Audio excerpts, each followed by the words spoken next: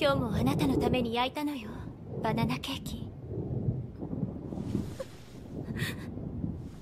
アンディどうしてこんなに早く行ってしまったの？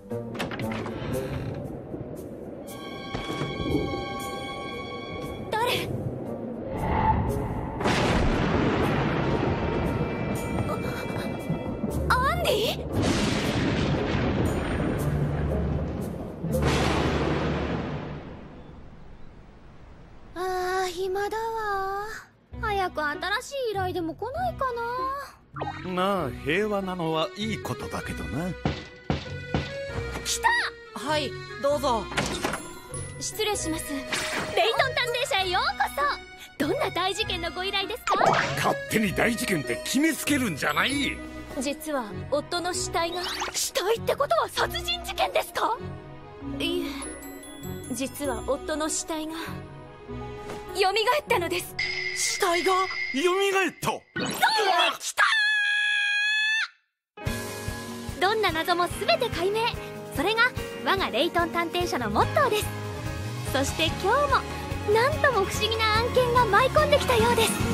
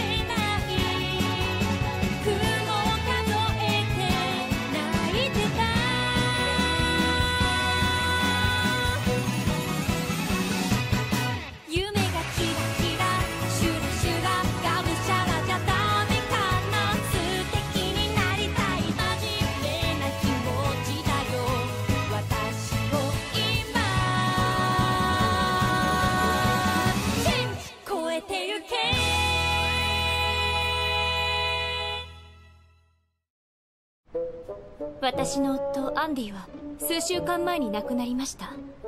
その夫が昨日の夜うちの寝室に現れたのです。えそれって見間違いとかではないんですか？間違いなくその場にいたんです。普通に窓も開けていきましたし見た目もお墓の中から出てきたようなボロボロな感じで。あーそれ完璧にゾンビですよ！ありがとうございます。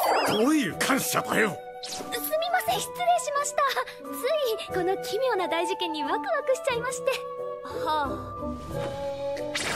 あ。よみがえる死体ゾンビの謎。その依頼この私パトリーエール・レイトンが引き受けます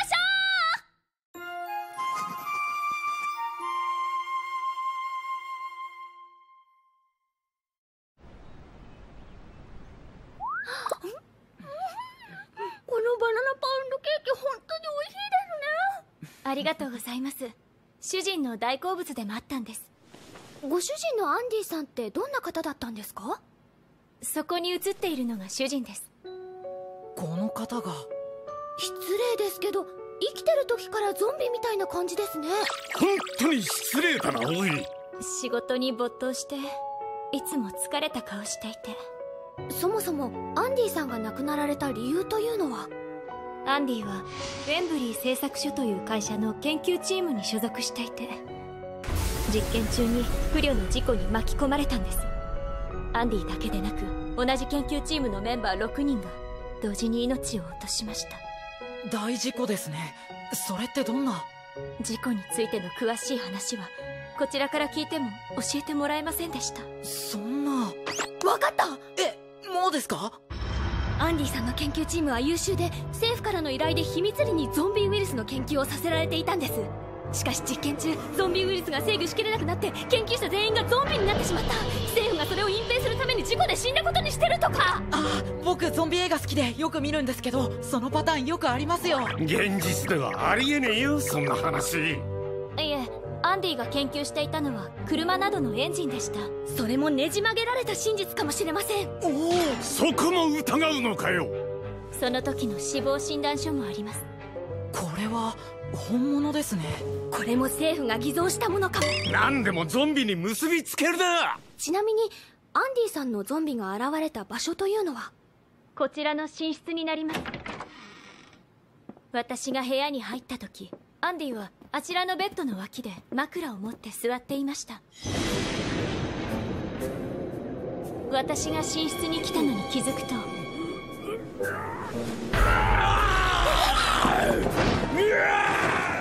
なるほど。枕を持って窓から出て行ったと。でも無事でよかったですね。え？映画とかだとゾンビって人を食べるために襲ってきますからね本能的に愛する奥さんを襲っちゃいけないって思ったんでしょうね。でも私アンディが亡くなる直前によく夫婦喧嘩を。何が原因ですか？あの人が仕事人間すぎたんです。毎晩深夜まで働いていて。疲れた時にはタコがいいって言うから今日はタコ尽くしよ今度はいつお休み取れそう？久しぶりに2人で旅行でも。食事中も考えてるのは仕事のことばかり。思いつくとところ構わずメモを取るんです。おおこれはすぐに仲間たちに知らせなくては。いい加減にしてよ。私と仕事どっちが大事なの？それ言われると男は辛いぞ。あんなこと言うんじゃなかったすぐ死んじゃうなんて思ってなかったから。リブさんは悪くないですよ。なるほど。ところでこれもアンディさんが書いたものですか？ええ。車のエンジンの研究をされていたんですよね。はい。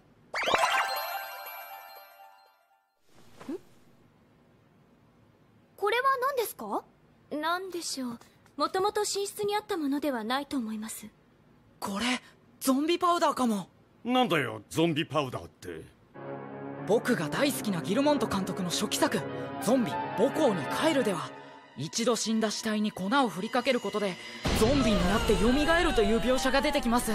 その死体をゾンビ化する粉というのがゾンビパウダーです。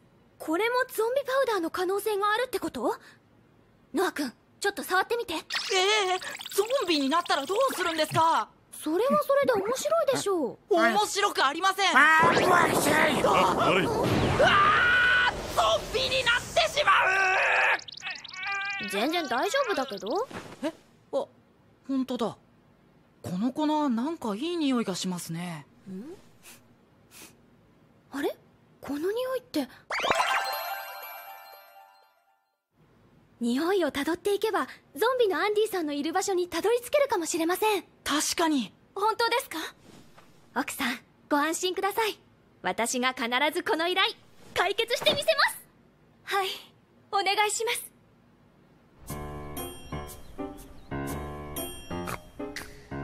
ああしおおわかるってよ。やったシャーロもあのくらい鼻が利くといいのにね。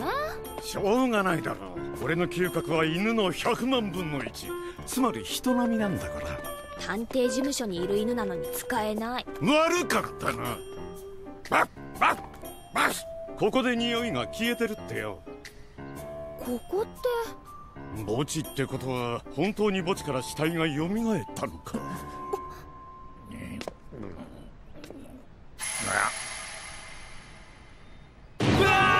ゾンビ出たおい逃げるななんじゃうるさいの。ゾンビが喋った。喋る犬が何驚いてるの？その人は普通のおじいちゃんよ。でも歩き方が。酔っ払ってるだけ。お酒と匂いですぐわかるでしょなんじゃお主らゾンビを見に来たのか？ゾンビ見たことあるんですか？のう夜遅くなると奥の方から出てきて毎晩のようにうろうろと徘徊してんだよ。それって酔っ払ってみた幻覚じゃないんですか？わしは昼間酔っ払っとるが夜はシラフじゃ。それ逆にした方がいいだろう。それっていつ頃からですか？最初に現れたのは2週間くらい前かな。近所の肉屋の匂いにつられて現れたらしい。なるほど。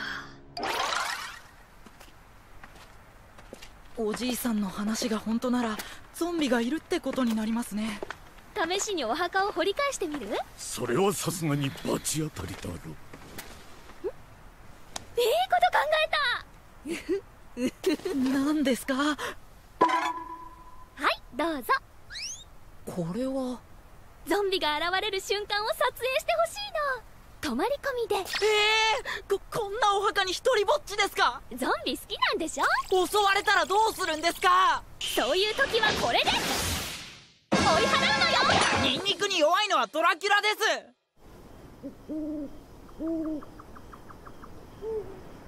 なんでこんなことに？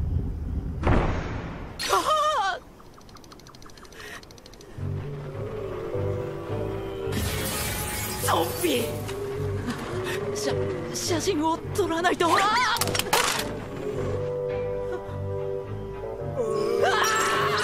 来ないで来ないで来ないで来ないで来ないで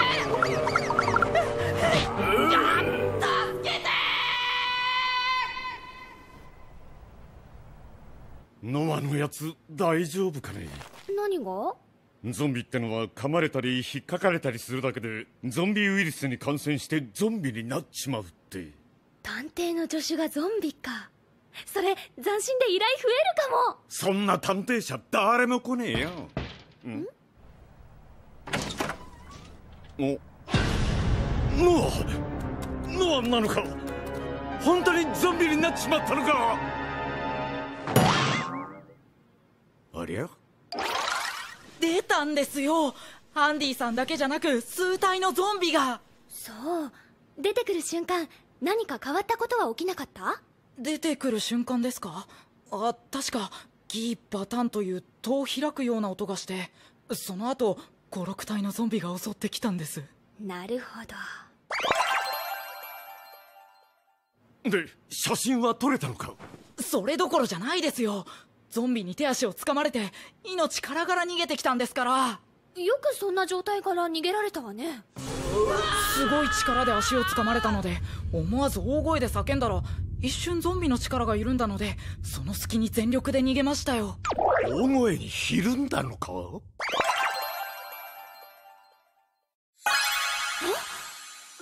香取さんどうしたんですか？全ての謎は解明されました。え？このタイミングで？今回の事件はバーナーで表面をパリッパリに熱したクレームブリュレのような味わいでした。というこ相変わらず意味がわからん。とで早速墓地に行きましょう。ええ墓地に行ってどうするんですか？何ってゾンビ退治に決まってるでしょあゾンビ退治？それじゃあ出発。おい待て。皆さんカトリーさんは蘇る死体の謎を解きゾンビを退治すると言っています。皆さんはこの謎お分かりになりましたか？ポイントはこれです。このヒントでカトリーさんはどうやって謎を解いたのでしょうね。さあこの後は解決編です。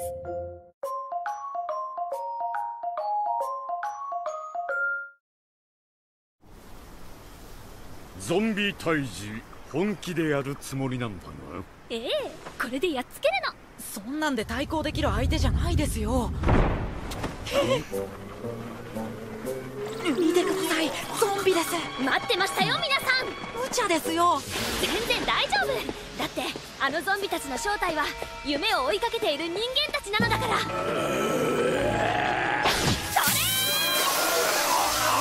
ゾンビに水が効くなんて聞いたことないぞ。でも相当嫌がってますよ。これはどういうことなんだ？アンディさん聞いてください。私探偵のカトリー・エトンと申します。奥様のリムさんから依頼を受けてあなたがゾンビになった謎を解きに来たんです。リブが？喋った。みんな顔色が良くなってる。顔が白かったのはただのお化粧だもん。だから粉からいい匂いが。でもなんでそんなメイクしてゾンビなんかに？それはロケット打ち上げという夢を叶えるためですよね。そこまで分かっているなら隠してもしょうがないですね。はい。探偵さんのおっしゃる通りです。当たってるのかよどういうことなんだ？それでは説明しましょう。ゾンビになってでも成し遂げたい。熱き男たちの大いなる野望を。今ここにいるゾンビたちはもともとアンディさんと一緒にロケットの研究をしていたチームでした。ロケット打ち上げなんて前代未聞の研究。成功させるには相当な労力が必要です。研究者の皆さんは休みもなく毎日深夜まで研究に没頭していました。しかしその結果皆さんと家族との間に大きな溝ができてしまった。ええその通りです。どうしたんですかアンディさん？また妻と喧嘩だよ。ああうちもしばらく口聞いてもらえません。うちなんかあんたなんか死んじまえって言われましたよ。俺たちの研究のせいで家族が不幸になっていく。でも死んだ気になって没頭しないとロケット打ち上げは成し遂げられない、一度本当に死んでみようか。え？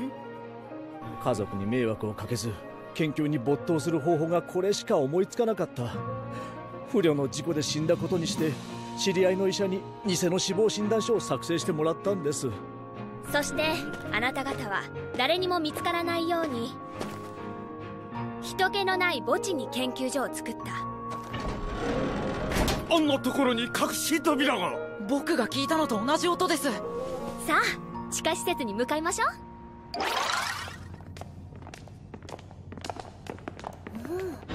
墓地の下にこんな施設が。この中でロケットの研究を再開したんですよね。でもだからってゾンビのふりまですることなかったんじゃ研究に没頭していたとしても食料や水を調達するためには外に出なきゃいけないでしょ？おおいらっしゃい。何にしやしょあえっ、と。うあれあんたアンディさんだよな。あいや。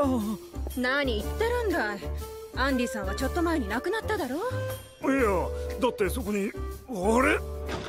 今そこにいたのにどこに行ったんだ？何かの見間違いでしょ？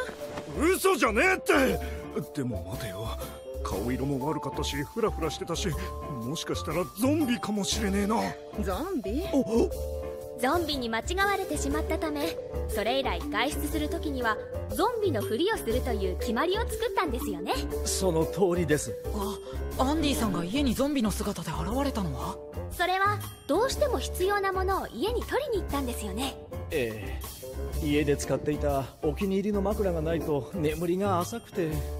しかし夢を追いかけるためにここまでやるなんてな。現実はいつも稀有なものなのです。あの探偵さん。できればこのことは誰にも話さないでもらえませんか？もちろん妻や家族にも。残念ながらもう手遅れです。リブ話は全部聞いていたわすまないリブ。君に迷惑をかけたくない一心で。迷惑って何よ？え？私が何に対して怒ってるかわかる？僕が死んだと嘘をついたことかい？それもそうだけど。やっぱりアンディは私より仕事の方が大事なのそれは誤解ですリブさん。アンディはあなたとの約束を守るために。まだまだ言うな。しかし。どういうこと？いや。教えて。君は忘れてるかもしれないが。ねえねえリブ。僕ね大きくなったらリブをお嫁さんにする。え？結婚するの？私たち。うん。結婚してくれたら僕がリブの夢叶えてあげる。リブの行きたい場所どこにだって連れてってあげるよ。どこに行きたい？じゃああそこ。え？月に行ってアンディと地球を見てみたい。分かった。じゃあ約束。ロケットを作ってリブをあそこへ連れて行くね。子供の頃のバカな夢なのかもしれないでも僕はどうしても君の願いを叶えたい。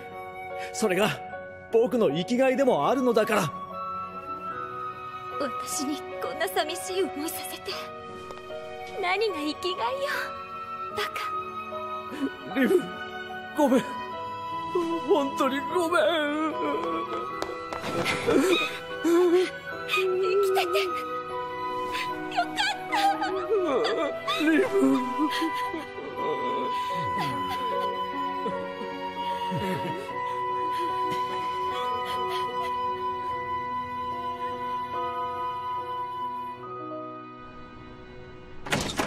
お疲れ様です。ノア君今日はいつもより遅いわね。大学の帰りにアンディさんのロケットの施設を見学してきたんですよ。えー、ロケット完成しそすると思いますよ人数も増えましたし。どんどん食べてね。あの人たちは？ここにいる研究者たちの奥さんです。え？実はみんなもあれから家に戻って奥さんたちにロケットのことを話したんです。そしたら皆さん手伝いをしたいって言ってくれて。おおよかったじゃねえか。そうなんですけど実は。うで今まででどのくらい完成してるの？ああ見せてあげるよ。これだけ？あれは？あれは失敗作さ。ガラクタなんだけど処分できなくてね。まあ失敗は成功のもとって言うし今しめにちょうどいい。遅い！もっと死ぬ気でロケット作りなさい！ご飯食べたら急ピッチで働くのよそれはそれで大変そうだな。でも早くロケット完成させてほしいな。そしたらレイトン探偵社の月面支部を作って月で起こった宇宙的連続殺人事件を華麗に解決しちゃうの。無理に決まってるだろう